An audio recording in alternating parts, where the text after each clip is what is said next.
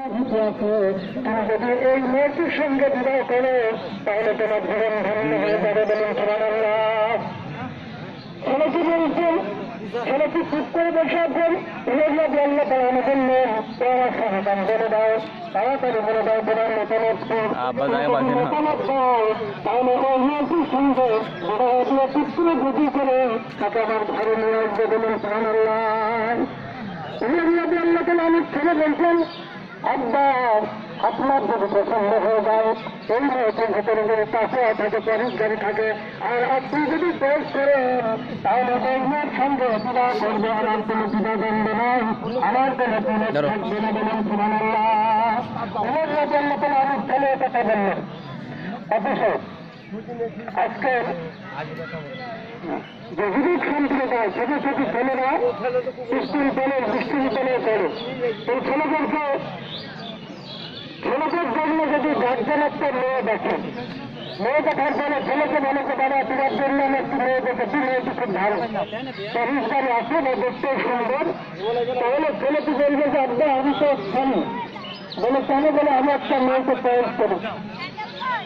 আমার একটি মেয়ে পছন্দ আছে আপনার পছন্দ বিবাহ করা যাবে না। এরকম সন্তান আসলে না এরকম সন্তান আছে কে সাহিস দিয়েছে অভিভাবক ছাড়া, নিজের পিতা মাতা ছাড়া বিবাহ করার অধিকার ইসলাম দেয়নি।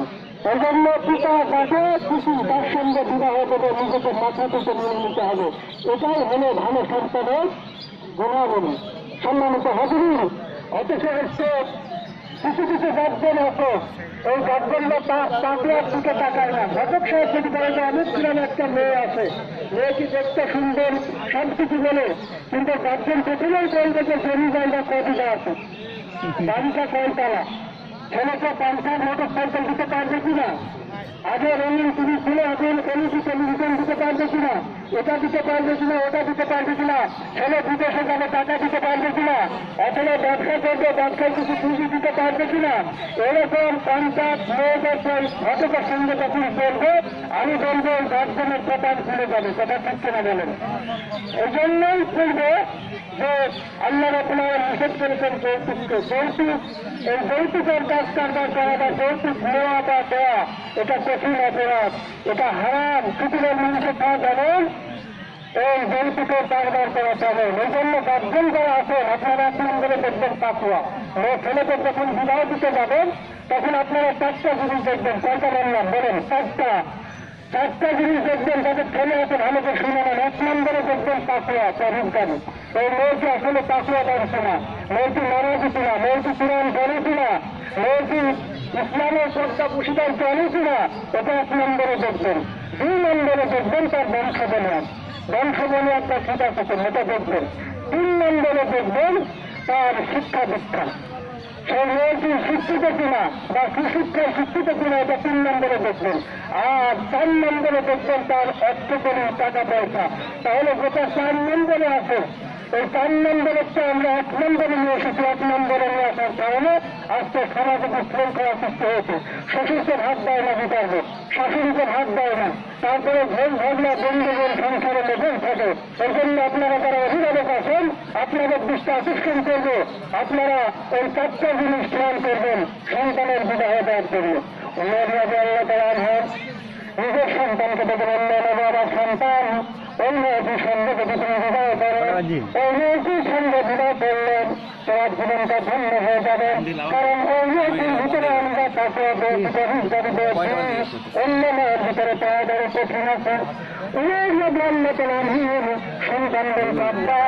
আপনি আপনার যদি পছন্দ হয়ে থাকে আমি একটু মত করব না। আমি অন্য একটির সঙ্গে বিবাহ করতে রাজি হয়ে গেলাম বলেন সুমান আল্লাহ সাথে সাথে সাহায্য করছিলেন অন্য একটির সঙ্গে বিবাহের ব্যবস্থা করে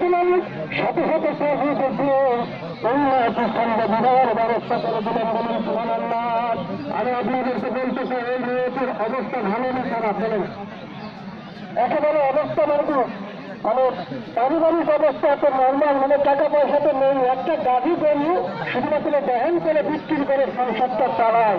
শুধুমাত্র পরিষ্কারী বা চাষে আবার এটা দেখার কারণ দেখুন অন্য বললে বলে আমি নিজের ছেলের সঙ্গে বিবাহ করেছেন আজকে এখানে যারা হাজির হয়েছেন, এখানে যারা হাজির হয়েছেন, আপনাদের আমি দৃষ্টি আকর্ষণ করতে চাই। বাংলাদেশের রাজনৈতিক প্রেক্ষাপটে মাঝে মাঝে বলা হয় সব থেকে ত্যাগী নেতা যারা তাদেরকে আমি অগ্রাধিকার দেবো। স্বাধীনতা নেতা যারা তাদেরকে এমপি বানাবো মন্ত্রী বানাবো, তারপরে বড় বড় দলের লিডার বানাবো। আল্লাহ রব্দুল আলী যদি বলেন যে না ঈদগা ময়দানে যারা হাজির হয়েছে, এই ঈদগা ময়দানে সব থেকে ত্যাগী নিরীহ করা ত্যাগী মুসলমান করা যারা এত গরমের ভিতরে এত রোদ্রের ভিতরে কষ্ট করে সাদিক থেকে একেবারে সূর্যাস্ত পর্যন্ত মারছে তা হয় বিভিন্ন ধরনের কার্যকলাপ এগুলো থেকে একেবারে বিরত থেকে আল্লাহ রব্দুল আলমকে রাজি খুশি করার জন্য তাকে অর্জন করেছে পাকিস্তানি অর্জন করেছে। তাহলে আল্লাহ রব্দুল আলমকে যেরকম বাছাই করে চলে নেন, তাহলে এদের সংখ্যা খুব কম হবে না বেশি হবে? কম হবে। যেহেতু আল্লাহ ত্যাগই মনে করছেন যে বান্দা ত্যাগই ত্যাগ স্বীকার করে জীবনের নিয়ে যারা রমজানের রোজা পালন করেছে। আমি হাদিসে বললাম যে বান্দার সর্বশ্রেষ্ঠ রোজা যদি হয়, তার মানে এই রোজার ফলে যদি কোনো বান্দার মৃত্যু হয়ে যায়, রোজা রাখতে রাখতে যদি কোনো বান্দার মৃত্যু হয়ে যায়, আল্লাহ রব্বুল আলমের রসুল বলছেন যে এই ব্যক্তি সরাসরি আল্লাহ জান্নাতে চলে যাবে বলুন সোহান আল্লাহ এই জন্য যারা রমজানের রোজা পালন করেছেন, তাদের জন্য সৌভাগ্য আজকে তার দাদা মেয়াদ দিন পুরস্কার মেয়াদ দিন সুতরাং আমার পুরস্কার মেয়াদ দিনে আমরা এখান থেকে শিক্ষা নিয়ে যাব। যে ইমাম জন্য তাহলে আমি আমলে